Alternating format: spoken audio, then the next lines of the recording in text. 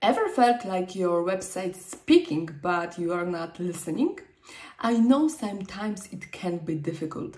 That's why today we are gonna talk about the magic of websites monitoring.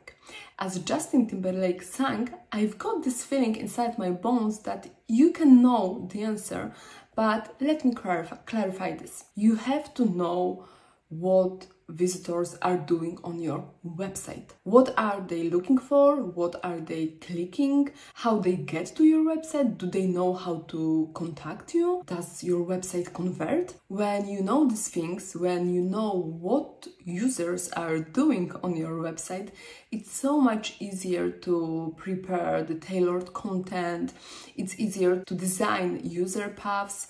You can answer to specific uh, questions and needs and all this gives you the chance to increase your sales, leads and conversions. So, how to do it? How to monitor your website? Of course, with the right tools. And today I want to tell you a little bit more about four tools which are essential, basic but essential in my opinion. First is Google Analytics. Did you know that over 50% of websites use Google Analytics?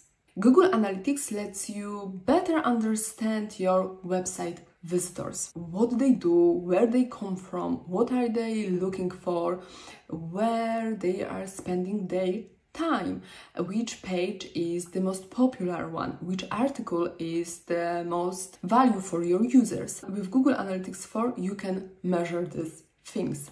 And when we are talking about Google's solutions, I have to mention Google Search Console, uh, and this one is one of my favorite, to be honest.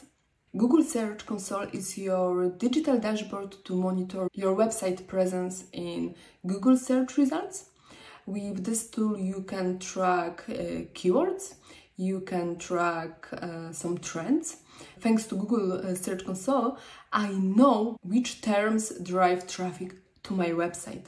And based on this, I can prepare valuable content for my users, for my visitors. Another tools worth implementing are Hotjar and Crazy Egg. And they aren't just fancy names, they are visual trackers which can provide user recordings, uh, heat maps, and even feedback.